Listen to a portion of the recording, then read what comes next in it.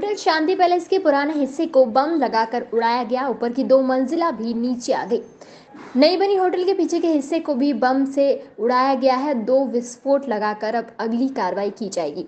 नानाखेड़ा स्थित होटल शांति पैलेस के बड़े अवैध निर्माण को नगर निगम की टीम ने विस्फोट से उड़ा दिया है। हाईकोर्ट की डबल बेंच के आदेश पर हुई इस कार्रवाई में होटल के पिलरों में बारूद लगाकर इसे विस्फोट के ज़रिए ढाया गया।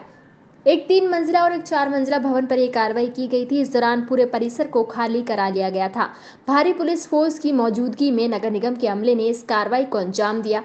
उज्जैन में इतना बड़ा अवैध निर्माण तोड़ने की ये पहली कार्रवाई हुई है। इससे पहले हरिफाटक रिंग रोड स्थित प्रेसिडेंट होटल के अवैध निर्माण को भी विस्फोट के ज़रिए इसी तरह से उड़ाया गया था। उज्जैन के आलिशान होटल शांति पैलेस का अवैध निर्माण बुधवार को ढा दिया गया है।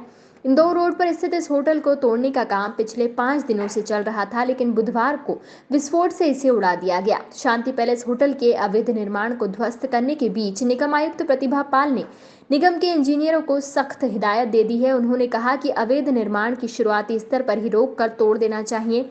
हम सिर्फ़ नोटिस तक ही कार्रवाई को सीमित रखते हैं। इस कारण अवैध निर्माण उठ जाते हैं।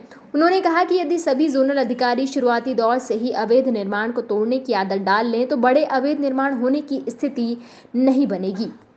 20 करोड़ रुपए से बनी इस होटल की अवैध इमारत को ढाया गया है और ये 20 करोड़ की इमारत छः मंजिला की है और इसके 27 पिल्लरों में 170 होल किए गए हैं और इस होटल को विस्फोट से उड़ाने के लिए 34 किलो बारूद का उपयोग किया गया और इस धमाके की गूंज दो किलोमीटर दूर तक सुनाई दी। और एक किलोमीटर दूर तक इस धमाके के बाद धूल का गुबार भी दिखाई दिया। होटल संचालक द्वारा हाउसिंग सोसाइटी से ज़मीन खरीदी गई थी और बिना डायवर्जन के ही नक्शा पास करवाकर ये बिल्डिंग बना ली गई थी। इसलिए हाई कोर्ट इंदौर की खंडपीठ द्वारा होटल को तोड़ने के आदेश दिए गए थे। इसी के चलते ये कार्रवाई की गई है और इस होटल को विस्फोट से उड़ा दिया गया है और आगे इस होटल को तोड़ने की कार्रवाई भी जारी रहेगी।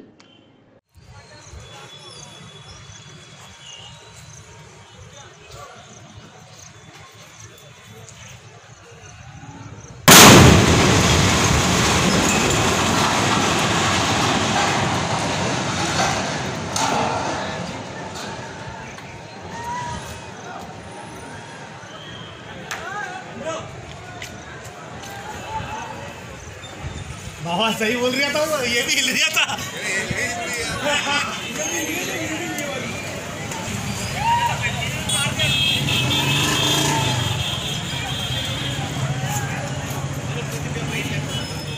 Subscribe our channel and press the bell icon for more updates.